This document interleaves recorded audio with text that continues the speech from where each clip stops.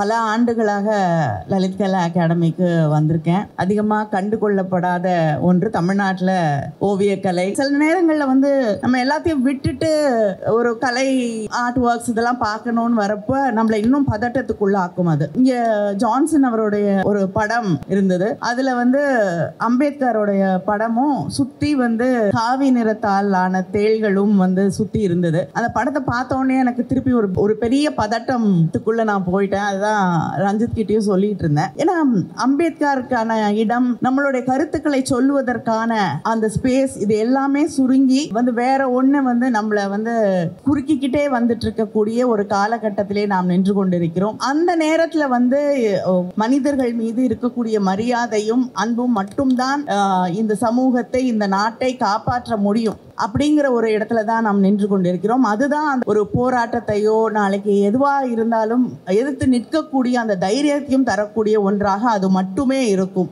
இந்த அன்பை மட்டுமே வைத்துக்கொண்டு ஒரு கலைஞன் பயணம் செய்வது அப்படிங்கிறது இத்தனை ஆண்டுகளுக்கான பயணமாக அது இருப்பது. அதிலிருந்து இன்னைக்கு இத்தனை ஆர்டிஸ்ட் அவருடைய அன்புல இருந்து கிட்டத்தட்ட வந்து அந்த அன்புங்கிறது வந்து ஒரு கரு வ- வந்து உள்வாங்கி வைத்துக்கொண்டு அதை டெலிவர் பண்ணுறக்கூடிய ஒரு விஷயமா தான் இருக்குது இத்தனை குழந்தைகளை அவர் பெற்றெடுப்பது அப்படின்றது வந்து ரொம்ப ஒரு மகிழ்ச்சியான விஷயமா இருக்குது இது சமூகத்தை கொண்டாடக்கூடிய இந்த சமூக மாற்றத்தை கொண்டாடக்கூடிய ஒரு நிகழ்ச்சியாக இருக்கு இது இருக்கிறது. அதில் நானும் இருப்பது எனக்கு மற்றற்ற மகிழ்ச்சி. அதுக்கு என் ரஞ்சித்துக்கும் ரேவதிக்கும் என்னோட நன்றியை தெரிவித்துக் கொள்கிறேன். ரொம்ப மகிழ்ச்சியான ஒரு மேடை இது. ஆக்சுவலி வந்து என்னுடைய நான் college of college of arts join பண்ணதுக்கப்புறம் பார்த்து பயந்த ஒரே சார் ஆசிரியர்னா சார் தான். உண்மையிலே உண்மையிலேயே நான் ரொம்ப எமோ எமோஷ்னலாக இந்த மேடையில் சார் கூட வந்து நான் பகிர்ந்துக்கிறேன். அண்ட் வந்து இந்த நிகழ்ச்சிக்கு வந்திருக்கிற எல்லா தோழர்களுக்கும் என்னுடைய நன்றி. அண்ட் கண்மணி தோழருக்கு ரொம்ப மகிழ்ச்சி. அவர்களுடைய அவங்களுக்கு வந்து நான் அட்வான்ஸ் விஷஸ் சொல்கிறேன் மிகப்பெரிய வெற்றியை பெற போகிறாங்க அவங்க. புரியுது. ஏன்னா வந்து இந்த எலெக்ஷன் எவ்வளோ முக்கியமானதுன்னு சொல்லிட்டு நமக்கு எல்லாருக்குமே தெரியும். அண்ட் அவங்களுக்கும் அந்த பதட்டம் இருக்குது அதை அவங்க பகிர்ந்துக்கிட்டாங்க அண்ட் வந்து இதை நம்ம ஃபேஸ் பண்ணி தான் ஆகணும். நம்ம ஃபேஸ் பண்ணுவோம் தொடர் தொடர்ந்து. அண்ட் வந்து college of art college of ஆர்ட்ஸில் வந்து நான் சேர்ந்ததுக்கப்புறம் நான் பயந்த ஆசிரியர் வந்து சந்திர சார். ஏன்னா அவர்கிட்ட நான் முன்னாடி போய் நிற்கணுன்னா ஏதாவது ஒர்க் ஒழுங்காக பண்ணியிருக்கணும் நான் காலேஜில் வந்து ட்ராயிங்கை பண்ணதை விட அதிகமாக வந்து நாடகம் சினிமா அப்படி தான் நான் வந்து என்னுடைய ரெண்டாவது ஆண்டுலேயே வந்து நான் அப்படியே ஃபுல்லாக மூவ் ஆகிட்டேன் ஒரே ஒரு முறை ஒரு கவிதையை எழுதிட்டு சார்கிட்ட போயிட்டு நான் பார்த்தேன். ட்ராயிங் கூட எடுத்துன்னு போய் பார்க்கல. ஆனால் கவிதையை எழுதிட்டு எடுத்துன்னு போயிட்டு அவர்கிட்ட வந்து காட்டினேன். சார் வந்து அது சம்மந்தமாக நிறைய பேசினார். இன்னும் கூட எனக்கு வந்து அது அந்த மைண்டில் இருக்குது ஒர்க் ஆஃப் ஆர்ட்னா என்ன? அது என்ன பண்ண போகுது? நீ யாருக்காக பண்ணுற அந்த ஆர்ட் மூலமாக நீ என்ன செய்ய போகிற அப்படின்ற கேள்வி தான் அது. அது வந்து என்கிட்ட மட்டும் இல்லை எங்கள் காலேஜில் எல்லார்கிட்டேயும் அது வந்து தொடர்ந்து பேசிகிட்டே இருப்பார். எனக்கு சினிமாவில் ஆசிரியர்னா அது வந்து சந்திர சார் மட்டும்தான். அவர்கிட்ட இருந்து தான் நான் சினிமாவை கற்றுக்கிட்டேன் நிறைய பேர் வந்து சினிமாவில் வந்து அசிஸ்டன்ட் டைரக்டராக இருக்கிறப்போ வந்து அவங்க டீச்சர் யாருன்னு சொல்லுவாங்க. பட் ஆனால் என்னுடைய டீச்சர் சினிமாவை என்னுடைய லாங்குவேஜ் என்னுடைய மீடியமை நான் எவ்வளோ ஸ்ட்ராங்காக நான் புரிஞ்சுக்கிட்டேன் அப்படின்றதுக்கு வந்து டெஃபினட்டாக சந்திரசாருடைய அந்த என்ன சொல்கிறது அந்த அவர் பண்ண டீச்சிங் தான். ஏன்னா அவர் வந்து நேரடி எனக்கு வந்து ஒரு வகுப்பு ஆசிரியர் இல்லை. ஆனால் அவர் நிறைய பேசுனதை நான் வந்து கேட்டிருக்கிறேன். அவர் கே அவர் பேசுகிறது வந்து அந்த லாங்குவேஜே வந்து ஃபஸ்ட்டு நமக்கு புரியாது. ஒன்று ஆரம்பித்து எங்கேயோ இடத்துல போய் நிறுத்துவார். ஆனால் ஆரம்பித்த இடத்துல கொண்டு வந்து நிறுத்துவார். அதுதான் பயங்கரமாக இருக்கும். ஸோ அது அந்த அவர் பேசுகிறத நம்ம முழுக்க கேட்டு முடிக்கிறப்ப தான் வந்து நம்மளால் அதை புரிஞ்சிக்கவே முடியும். அந்த அளவுக்கு வந்து ஒரு அது ஒரு என்ன சொல்கிற ஒரு தியான மனநிலையில் தான் நம்மளால் வந்து அது பொறுமையாக உட்காந்து கேட்க முடியும். ஸோ அப்படி நான் அவர்கிட்ட நான் கற்றுக்கிட்டது வந்து ஒரு லேண்ட்ஸ்கேப்பை பற்றி பயங்கரமாக பேசுவார். லேண்ட்ஸ்கேப்பில் மனிதர்கள் அங்கே இருக்கிற பொருட்கள் அங்கே இருக்கிற மரம் எல்லாத்துக்குமே வந்து ஒரு ஐடென்டிட்டி இருக்குது ஒரு அடையாளம் இருக்குது அந்த அடையாளம் பின்னாடி பல கதைகள் இருக்குது அந்த கதைகளை ஏன் ஆர்டிஸ்ட்டு தெரிஞ்சிருக்கணும்? வெறுமனே வந்து ஆர்டிஸ்ட்டு ஒரு மரத்தை வரைகிறதுல மட்டும் அவனுடைய வேலை கிடையாது. ஏன் அந்த மரத்தை வரைகிறான் ஏன் அந்த மரம் அவனுக்கு வந்து பாதிப்பு உண்டாக்குச்சு? எதுக்கு அந்த ஃபார்ம் எப்படி இருக்குது அது ஏன் வந்து கம்போஸ் பண்ண வேண்டியது இருக்குது ஏன் வந்து கேன்வாஸில் கொண்டு வந்து அந்த ஸ்டேஜிங் இருக்குது அப்படின்றத வந்து இப்போ கூட அந்த ஒரு ஒரு சின்ன குழந்தைய வந்து அந்த கண்ணாடி இதில் வந்து அந்த பேழையில் வந்து அடைச்சது பற்றி அந்த பையனுடைய அந்த அந்த குழந்தை எப்படி காட்டணுன்றதை பற்றி வந்து கொஞ்ச நேரம் பேசியிருப்பார் அந்த விவரண படத்தில். ஸோ அந்த அளவுக்கு வந்து பயங்கர ஆர்ட் என்பது பயங்கர கான்சியஸ் தான் அப்படின்றத வந்து சார்கிட்ட இருந்து தான் நான் வந்து கற்றுக்கிட்டேன் ரொம்ப கான்சியஸாக நிகழக்கூடியது. அது வந்து அன்கான்சியஸ் கிடையாது. சும்மா ஏதோ ஒரு கோடு போட்டதாக நம்மளால் வந்து வந்துடும் அப்படின்றது கிடையாது. அந்த அன் ரொம்ப கான்சியஸாக நிகழக்கூடிய அந்த ஆர்ட்டை என்னுடைய திரைப்படங்களில் வந்து நான் வந்து காட்சிப்படுத்துகிறேன் என்னுடைய கதாபாத்திரங்களை காட்சிப்படுத்துகிறேன் என்னோட கதைகள் மூலமாக நான் காட்சிப்படுத்துகிறேன் நான் அதை தான் வந்து என்னுடைய சினிமாவாக நான் பார்க்குறேன் என்னுடைய சினிமா வெற்றிகரமாக இருக்குது இன்றைக்கி வந்து மக்கள்கிட்ட போய் நேரடியாக பேச முடியுது. என்னுடைய சினிமாவில் வந்து லைக் வந்து என்ன சொல்கிறது தலித் லைஃப்பை வந்து ரொம்ப ஸ்ட்ராங்காக நான் பேசுனதுக்கான முழு ரீசனே வந்து சார் தான். சார் இல்லைன்னா டெஃபினட்டாக என்னால் நிச்சயமாக என்னால் பண்ணியிருக்க முடியாது. நான் college college of fine arts போகலன்னா நான் இப்படி ஒரு மனுஷனாக என்னால் மாறி இருக்க முடியாது. சாரை நான் மீட் பண்ணலன்னா என்னுடைய படைப்புகள் வந்து இவ்வளோ காத்திரங்களோ இவ்வளோ வெளிப்படைத்தன்மையோ இல்லை வந்து நான் யார் என்பதை வெளிப்படையாக சொல்லக்கூடிய ஒரு தைரியமும் எனக்கு வந்து கிடச்சிருக்காது அந்த தைரியத்தை கொடுத்தது வந்து சார் சாருக்கு வந்து நான் மிகப்பெரிய நன்றி கடன் பட்டிருக்கிறேன். அண்ட் வந்து அது வந்து என்னோடய ஒர்க்கு மூலமாக தான் சார் எல்லாருமே படம் பார்த்துட்டு எப்பயாவது பேசுவாங்க. சார் எப்போ பேசுவார் நான் வெயிட் பண்ணிட்டே இருப்பேன். சாருக்கு இந்த படம் பிடிச்சிருக்கா? இல்லையா? அப்படின்னு சொன்னோடனே வந்து ஒரு முறை சொன்னார் நீ கரெக்டாக தாண்டா பண்ணுற பண்ணிகிட்டே இருறா அப்படின்னு சொன்னார். அது பயங்கர சந்தோஷமாக இருந்தது. அது ஒரு பெரிய விமர்சனமாக நான் பார்க்குறேன். ஏன்னா என்னுடைய ஒரு டிராயிங்கை கூட நான் எத்தனை போயிட்டு காட்ட பயந்தவர்கிட்ட என்னுடைய படைப்பை அவர் பார்த்துட்டு நான் ஆனால் இன்றைக்கி வரைக்கும் என்னுடைய ஒர்க்கை வந்து நான் சாரை இன்வைட் பண்ணவே இல்லை. நீங்கள் வந்து என் படத்தை பார்க்கணும் நீங்கள் அப்படின்னு நான் கேட்கவே இல்லை. அப்படி ஒரு படம் எடுத்தால் டெஃபினட்டாக நான் உங்ககிட்ட சொல்லுவேன். எனக்கு பயம் இருக்குது இன்னும் கூட. சார்கிட்ட வந்து ஒரு படத்தை போட்டு காட்டி அவர் வந்து என்ன சொல்கிறாரு அப்படின்ற கேட்குறதுக்கு இன்ன வரைக்கும் எனக்கு பயம் இருக்குது நிச்சயமாக அப்படி ஒரு படம் எடுக்கிற ஒரு ஒரு மாணவனாக நான் இன்றைக்கும் இருக்கிறேன். அண்ட் வந்து ரொம்ப ரொம்ப சந்தோஷம். ஒரு ஒரு என்ன சொல்ல தலித் வரலாற்று மாதம் பாபாசாஹிப் அம்பேத்கருடைய பிறந்தநாளை முன்னிட்டு ஏப்ரல் மாதத்தை வந்து தலித் வரலாற்று மாதமாக நம்ம வந்து நீளம் நீலம் பண்பாட்டு மையம் மூலமாக கொண்டாடுறோம். வானம் ஃபெஸ்டிவல்னு சொல்லிட்டு ஒரு தலைப்பு வச்சு.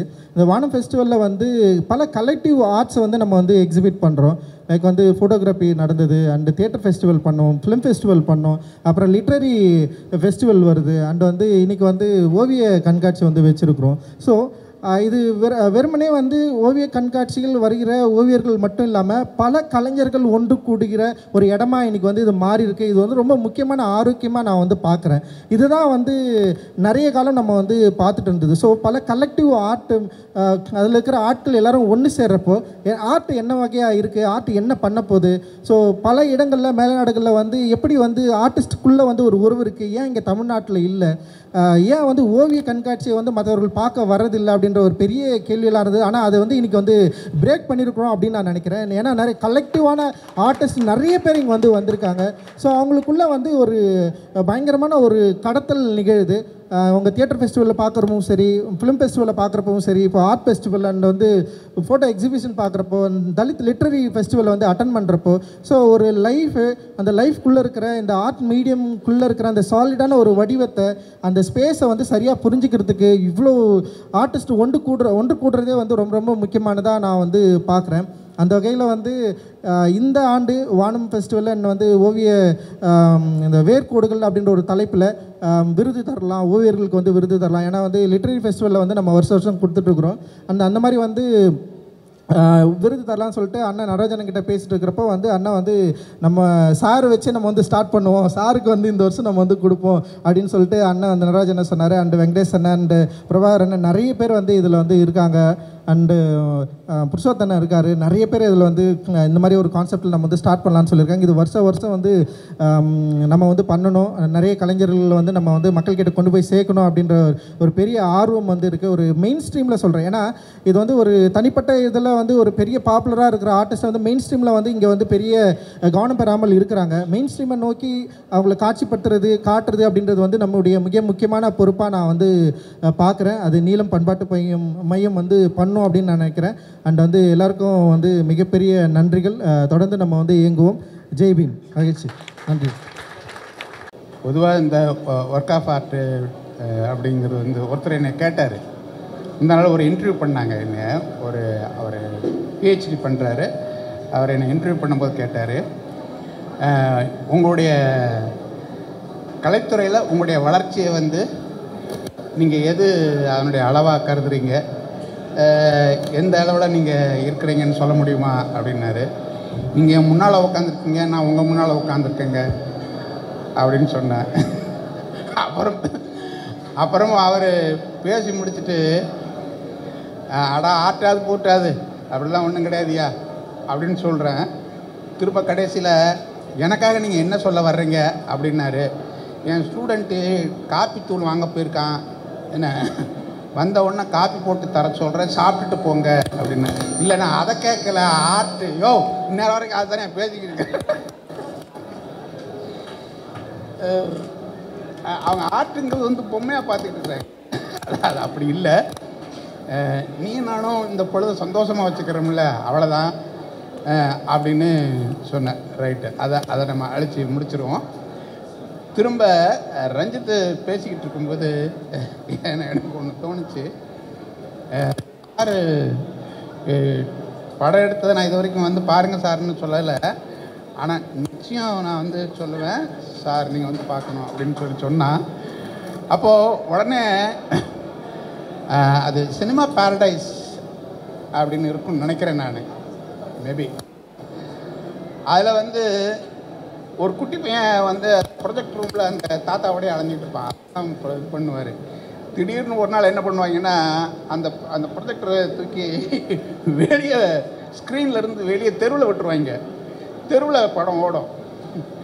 அது மாதிரி நம்ம ரஞ்சித் என்ன பண்ணிட்டான்னா சினிமாவை இங்கே காட்டிட்டான். நான் சொல்கிறது புரியுதா உங்களுக்கு? மேடம் சொன்னாங்க அகாடமியில் இவ்வளோ பெரிய கூட்டத்தை நான் பார்க்கல அப்படின்னு சொன்னாங்க. அதுதான் அந்த சினிமா. நான் சொல்கிறது புரியும்னு நினைக்கிறேன் நான். அது வெறுமனே கேன்வாஸில் மட்டுமே இல்லாமல் லிவிங்கே அப்படியே இருக்குது. அப்படியே வந்து இவன் ரஞ்சித் வந்து அந்த ஸ்க்ரீனில் ஓடிக்கிட்டு இருந்ததை அதான் சொன்னேன். அது எந்த மேடையெல்லாம் மறுக்கப்பட்டதோ அந்த மேடையெல்லாம் நாங்கள் சுகரிப்போம். என்ன? அப்படின்னு அப்படிங்கிற ஒரு செயல்பாட்டை தான் நான் வந்து இவனுடைய ரஞ்சித்துடைய செயல்பாட்டை தான் நான் இப்படி சொல்கிறேன் அந்த ஸ்க்ரீனிங்கை வந்து தெருவில் இப்படி லிவிங்காக விடுறது. இப்போ எல்லாருமே சினிமா தாண்டா எல்லாமே எல்லாமே ஆக்டர் தாண்டா போங்கடா அப்படின்னு சொல்லிட்டு. அந்த மாதிரி அவர் சினிமா இனிமேல் எடுப்பேன் சார் பார்க்கணும் அப்படின்னு சொன்னார்ல. யோ நீ காட்டுற சினிமா தான் நான் பார்த்துக்கிட்டு இருக்கிறேன் ஓ இதுக்கு மேலே வேற ஒரு சினிமா இருக்கா? சரி அதையும் பார்த்துக்குவோம். அப்படின்னு இருக்கிறேன்